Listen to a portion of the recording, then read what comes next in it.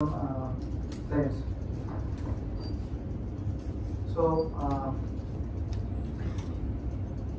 before uh, presenting my paper, uh, I would like to, uh, you know, interact with you. First of all, uh, I would say questions like, how many of you are familiar with the name Gitanjali Sri? If you know the answer, then just raise your hand. How many of you know the uh, name or you are familiar with Gitanjali Sri? Just raise your hand. Uh, can anyone tell me uh, who is Gitanjali Sri?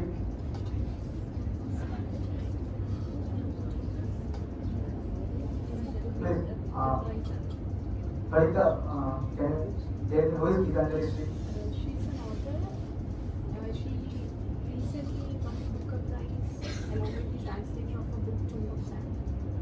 Yeah. Uh, thank you. So Gitanjali Sri is an Indian uh, author, right? So she won the Man Booker Prize for his novel uh, called Ret Samadhi in Hindi, uh, which is translated by the um, what is the name? Daisy Rockwell, right? Daisy Rockwell translated as that's why the text got the popularity in the world. Before that, we are not familiar with the name Gitanjali Sri. So my questions actually comes from that uh, side that why Gitanjali Sri is popularized or she is now acknowledged all over the world. Okay, and now I would also uh, ask you. It's not asking. I would say you that you are. I think you are also a little bit familiar with the name uh, which I have mentioned in my title. That is Qazi Nazrul Islam. Qazi Nazrul Islam is not actually familiar, you know, uh, with uh, in India as well as uh, uh, you know all over the world because uh, he is a regional author, right? Now I will explain those things that what is the politics behind you know uh, not popularize those authors in India as well as all over the world. That's why uh, now I can uh, you know go to my title. As you can see, uh, the title of my paper is contextualizing Qazi Nazrul Islam uh, Sahitya, that is quote unquote contemporary literature in the world of world literature. So.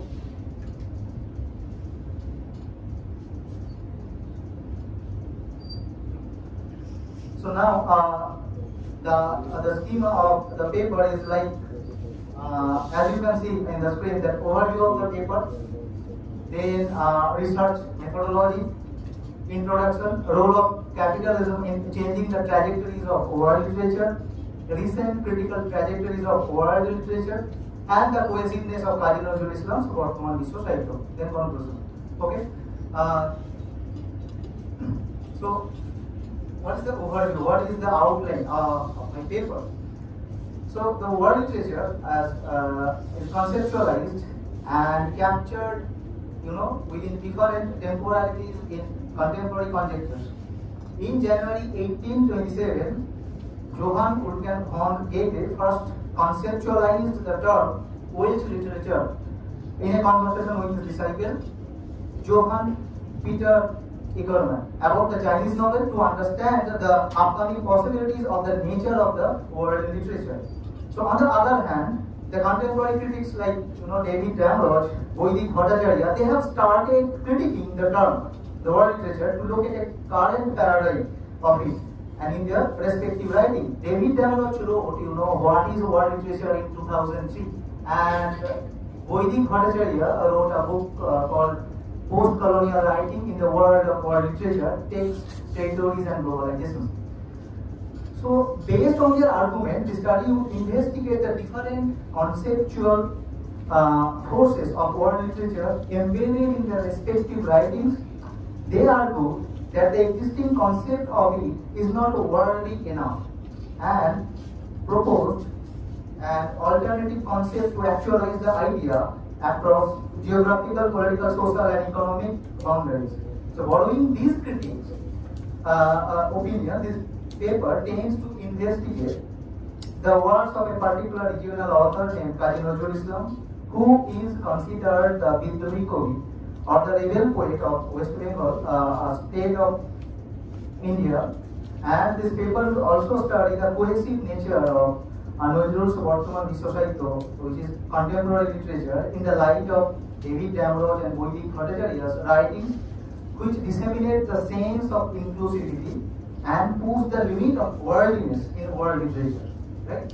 So this is the overview or the outline of my paper. Uh, then the research methodological part. Uh, the present study is, you know, theoretical analysis depends on the recent theorization of world literature. It is a comparative study of world literature and the regional literature in order to achieve the findings. And the study focuses uh, on the close reading of primary and the secondary sources. Uh, now I will focus on, uh, you know, the introductory part and in introductory part as well as you can say the existing uh, you know templates of world literature. So here uh, I have uh, written in a way that literature by default is an identical figure seeking the reader's association to explore the regional narratives from the clammy cells of provincialism. It connects people with their different histories, culture and ideas embedded in various forms of activities in different languages across the globe. A few texts uh, like the Thousand and One Nights, Bhalkesh, the text of Sanskrit literature circulated across geographical boundaries. So these texts are the common property of the literate people. Later the concept of world literature came into existence and when Goethe announced that within quote, that I am more and more convinced and that poetry is the universal possession of mankind revealing itself everywhere and at all times in hundreds and hundreds of men. In the 18th and 19th century, the idea of world literature was not welcomed in that way. Instead, national literature was always prioritized. The British diplomat Lord Chesterfield clearly defined the term illiterate, what, uh, which means someone who didn't know the Latin and Greek. So few nations uh, with their national languages have ruled over the literature in terms of establishing the nationalization of literature and this nationalization has set the administrative process within the defined territory. Later, in the late 1990s, there was a renewed interest in the in the value of world literature. Some of the most well-known, you know, who ever published are Arundhati Roy's The God of Small Things, Rohinton Mistry's A Fine Balance, uh, which was reviewed on Oprah's Book Show in New York in 2000, and Khaled Hosseini's the kite runner. The fact that all of these publications are from the developing nations is maybe the most intriguing aspect. However, the economic expansion is the reason for their emergence in their modern world. So, with the release of the Franco Moretti's text, the conjectures on world literature in 2000, and Pascale Casanova's Yes, in Pascale Casanova's World Republic of Letters in 1999, the concept of world literature gained favor among the literary experts. So the literary aesthetic career has emerged as a result of the exceptional economic uh, expansion that affects the emerging nations more than the developed ones. The focus emphasis uh, for world literature has shifted from the northern to the southern hemisphere. The literary world is changing dramatically with the changes of the economy. Now I will uh, focus on the role of economy in changing the templates of world literature. What is the role of the economy? How uh, economy you know function? So the notion of the people's association with their different histories, cultures, and ideas embedded in various forms of activities in different languages across the globe, it was a myth in the uh, early centuries. The ubiquitous nature of literature is very much associated with the growth of global capitalism. In the late 15th century, the prime motive of many countries, mainly the Italy, Holland, and England, was the circulation of money, right? Uh, which Marx referred to as a universal equivalent to make a capitalist world system. And the result was that the publication fashion in local languages.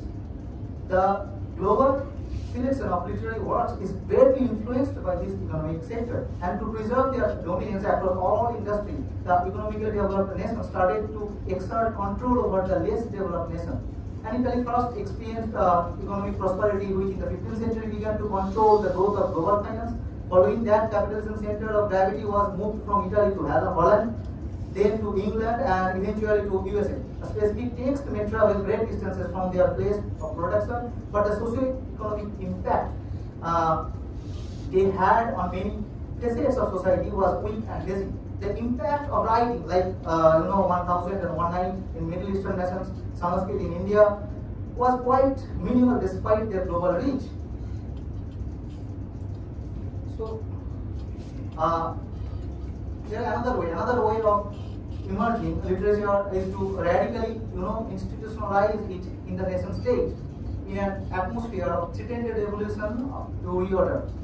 In the 19th century, the theory of naturalism drastically changed the image of rising social classes and ruined individuals. Moretti called literary modernism the last literary season of Western culture. The national phenomenon became more and more international. The most effective part of modernism was the cohesiveness between the familiar and non-familiar in the same status the rise of the South Asian literature gradually became visible in the post-modern era while Europe departed after World, uh, Second World War. So the emergence was possible as they had the publishing houses of northern capitals. The social situation had gradually been now changing through readings, the ruling class divided society into the bourgeois and the working classes, and extra force was created by the unrest between these two classes in the colonized countries. So this force instigated the inertia of the writers to criticize the comprador bourgeois in the South Asian countries. And the genealogy of the emergence of world literature is somehow related to the history of war. The war happens to acquire uh, the capital and control the whole world. And literature has also been shifting since the changes of the strategies of the world day by day. What Marx and Engels uh, prophesied on world literature is, in, in their Communist Manifesto, uh, 1848, the national one-sidedness and narrow-mindedness become more and more impossible and out of the many national and local literature, world literature arises, is confronted by world literature today to fulfill the hopeful. Now I would uh, like to talk about the recent critical trajectories of world literature. But uh, I will talk about Damrosch, what is world literature, and Baidik Bhattacharya's, uh, you know, uh, what is the name of the book? Post-colonial writing in the world of uh, post in the post-colonial writing in the era of world literature. So, Spanish writer Claudio Guillen, in his The Challenge of Comparative Literature, has asked so what can one make of such an idea? Idea means uh, the world literature. The sum total of all national literature, a wild idea, unattainable in practice. So the main argument is that world literature doesn't always focus on the conflicting diversity of the separate national traditions. And it is not easy to grasp the white noise that uh, Jane Abu Hogg has called the global bubble. The Damrosch claims that the world literature is not infinite and it is not an ungraspable canon of words. It is a mode of circulation and reading. If one wants to understand the canon of world literature, one needs different set of reading that can be appropriate to all texts. So the variability of a work of world literature is the, one of the main constitutive features in terms of uh, what is world literature and only if it is studied well. When the text is popularized as world literature, it is known uh, first as the literature, second as circulation into the broader world beyond its cultural and linguistic origins. So world literature is a nascent stage, we can say in that way, that is in the process of making. So Damrosch has extensively described the classical literature and unnoticed modern texts worldwide after the demonstrating the literature of different classical literature and uh, classical literature, Damrosch has said a threefold definition. The first he talks about the world literature is an elliptical reflection of national literature. Okay. Secondly, world literature is writing that gains in translation. So I will uh, now uh, define these things. The questions why we are why is world literature called the elliptical reflection of national literature, right? So comparatists welcome the idea of the world literature uh, as the keyword for the ills of nationalistics separatism and uh, violence, especially the nationalistic heresy. So he argues that all literary works are born within its national territory. The idea of nation is a modern development and it has evolved with the totality of several ethnic groups. The earlier works bore the marks of local configurations. They tried to incorporate themselves into the national traditions. Still, when those works were transmitted from their uh, periphery, they carried the effect of their national origins into the domain of world literature. Right? So, where they left their traces behind and are considered as refracted as a word travels further from home. So he clarifies the function of uh, the reflection. In the first definition of world literature, the role of reflection is crucial. In the circulation of a particular text, it functions uh, doubly for a text as a source and as a host culture. When work is received uh, in a foreign or a host culture, it becomes world literature because it reflects the source culture. So the host culture can utilize the material of the source culture to develop its own culture. World literature in that way creates space between the host and the source culture within which a text lives. As world literature is a coordinator between these two cultures. The second definition is the world literature that defined by uh, David Damrosch is the world literature writing that gains in translation. Damrosch here elaborates on the significance of the translation. Let's uh, look at the particular text and its upgradation into literature for a better understanding and taken as an establishment that the text is rhetorically decorated with its language, forms and themes, not only with its actual information. The information text neither gain nor lose in a good translation. Their meaning is simply carried over with, little and no effective changes. Okay? And the third uh, definition of world literature is that about the mode of reading and detached engagement with the words beyond our own place and time.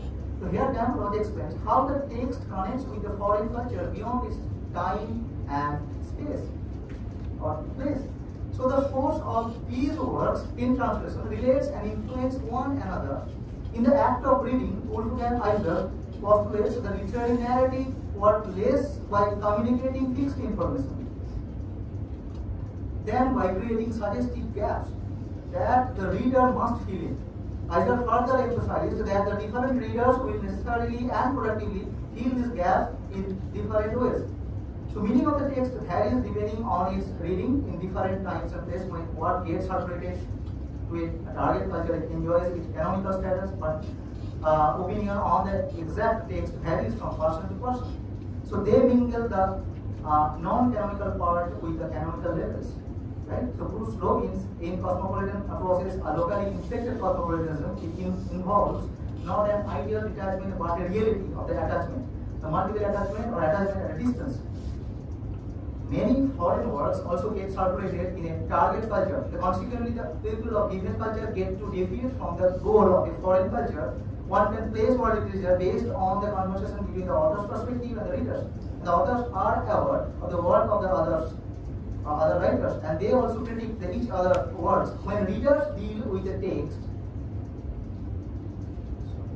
uh, deal with the uh, text when the reader deals with the text, they incorporate the culture, culture and historical context. So world literature is not an immensely body of material that must somehow impossibly be mastered. Uh, it is a mode of reading that can be experienced intensively with a few works just as effectively as it can be explored extensively with a large number. That is why it reflects the national traditions defined by a fluid and multiple set of possibilities of juxtaposition and combination.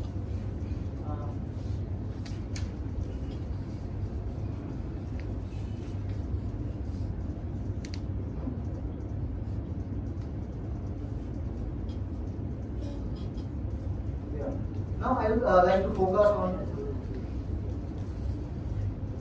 Baidik Bhattacharya's book, um, the post-colonial writing in the era of, era of world literature, texts territories and globalization. Right? So this book actually foregrounds an entirely different perspective of world literature. Uh, it deals with an argument raised from two current literary fields, that is post-colonial uh, literature studies and world literature studies. These two academic fields redefines uh, the codes and territories of existing literature with their primary coordinates, canonical and anthropological. He tries to relocate the notion of world literature in the history of post-colonial writing. The recent reincarnation of the idea of world literature has been theorized by critics like David Campbell, uh, Moretti, Pascale Casanova, depending on the colonial and post-colonial histories. Bhattacharya says, uh, this is very crucial, The post-coloniality is the pre-history of the present celebration of the world literature. And the argument is narrated in the book in two different ways. First hand is the close reading of the well-known author of world literature like Rudyard Kipling and their writings are based on the structure and structure of the empire. The second part captures the energy of the changing nature of world literature in the writings of Anglophone authors like Naipaul, Rushdie, Poesy and others. So the canonization of post-colonial writing within the framework of world literature invokes its reader to rethink both these illustrations through the interlocking of text, territories and globalizations. Uh, now I would uh, like to focus on uh, Nazrul Islam's text uh, called the Bartaman Vishwa Sahitya or uh, the, uh, in English it's uh, contemporary literature where actually you know this narrative solidifies a world making paths to actualizing and it demonstrates the inclusion of both Western and non-Western literature. The main theme of the text uh, is the influence uh, of the literature. He acknowledges that the literature's coherence provides a long-lasting remedy for the depressing darkness. He places the relationship between the global capitalism and the literary globalization in context by making references uh, to myths. He observes, uh, quoting uh, from the text, the capitalists have been devouring like Ravanas with 10 heads and have been stealing with 20 hands and along with their keepers turned Hanuman. They are still not satisfied. These greedy people say that sitas of the earth are to be enjoyed by the best people on the planet. When the Hanumans go to save Sita, the sentry ignites his tail. Then Hanuman jumps upon Sita and says, If I am to burn with fire in my tail, then I shall burn all your goats ornament too.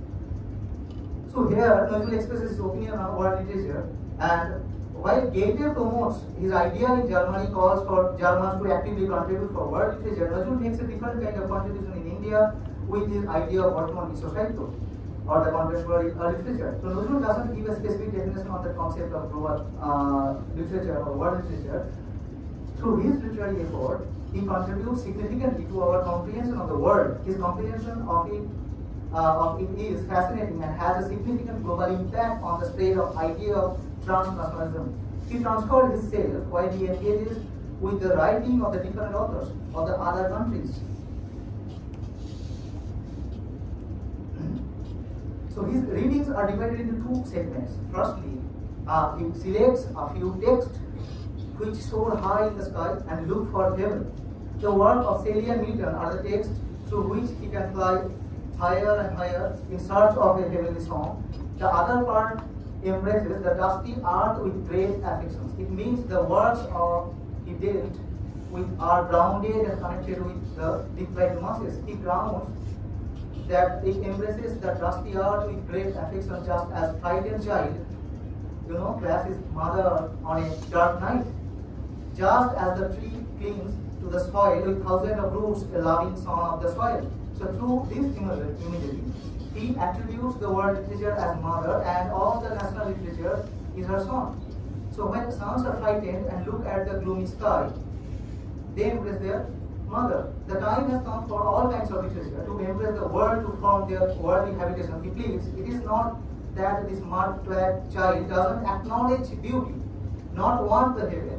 If there is a heaven, then he wishes to bring heaven to earth. So our world has always been enslaved and its feet, now we shall make it the slave of the earth.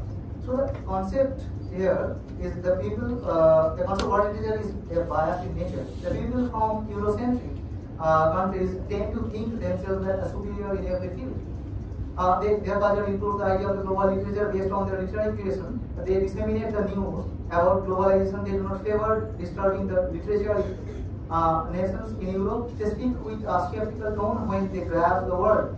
So Nazrul Literature emphasizes uh, such an idea. He says that the literature of European is fine. The non-European reader has a connection uh, to the planet. The purpose of the world literature, uh, which is valued as the great challenge, is to degrade their fashionable uh, position. So they are eager to establish a connection with heaven despite the slavery of the literature. Nazrul articulates. This is the pride of demon and the darkness of the beast. These are the murdering of the elite and lowliness of the greedy. The struggle between the elite literature and the lower literature, or the European or the non-European literature, has continued centuries after centuries. Having realized the vibe of the struggle, Nazrul makes a comparison, and the literature of capitalist countries is prioritized worldwide because of their socio-cultural economic richness. So they assume that economically deprived nations are also poor in their culture, in their beliefs, in morality or ethical. So these cultural impulses uh, have been spread worldwide to identify them as inferior and deprived. Now I would say uh, uh, the inclusion of several nations. Why Nazrul actually, you know, uh, includes many uh, nations. The inclusion of several nations are and their connections to the country's writing enriches the Vartman Sahitya. The work of uh, the Bojer of Norway, are very similar to the Upanishad. The character Swan in uh, Bojer of the Great Hunger reminds us of the character of Anando from the Upanishad. In Hamsun, the growth of the soil, they find a similar character and phrases like the sages in the Vedas.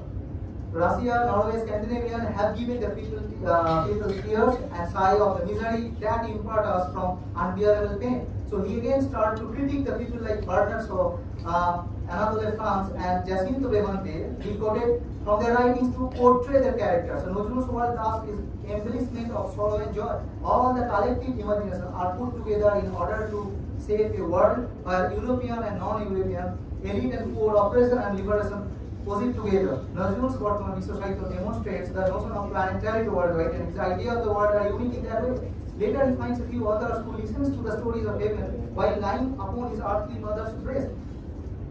Uh, so in the middle of the essay, the concept of destruction and resurrection uh, are addressed to highlight the upcoming reformation of the path of the revolution. He portrays that capitalists and their greedy tentacles and compares uh, them with our great myth, uh, mythical figure Ravana with ten heads.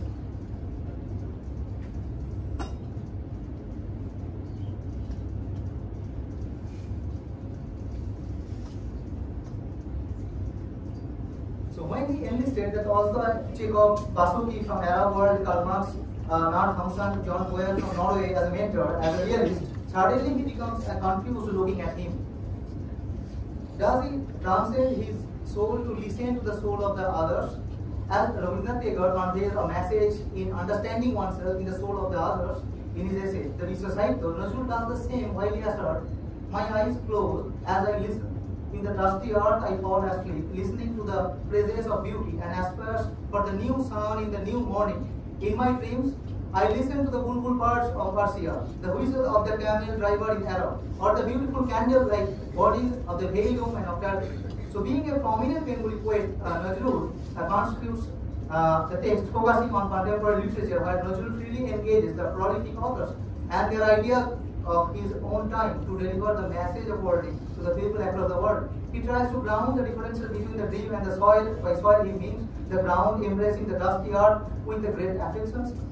By soil, uh, and uh, contemporary world is full of intertextual references that ignites the realm of thought to delve deep into the current situations throughout the world. So this paper explores the transcendence of Nazrul, who refuses to accept literary oppression he doesn't believe in the colonization of the mind, rather he prescribes the decolonization of mind that can create a world of literariness. So, to conclude, I would say uh, Nazrul Vartman Vishwa announced many segments of world literature in terms of extending its uh, limitation. World literature and its existing and recent theories are becoming challenging in uh, changing its trajectories and exploring its possible tendencies to find it its own inclusive power. What Goethe popularized once in 1827 has been countering and recountering to expand the recognition of the literature, especially world literature. So the texts which are not visible in the mainstream literary arena are needed to explore and acknowledge their importance in the world of world, literary, world literature, not only as mere text, but as the text for world making. Uh, so before thank you, I would like to say uh, I'm working on world literature and the regional literature, and uh, uh, I have just uh, started, you know, working and what have I have studied. I have jotted down and prepared this paper. So I am now in an nascent stage. So I would expect, uh, you know, I welcome the comments and the suggestions uh, from uh, my friends. Thank you.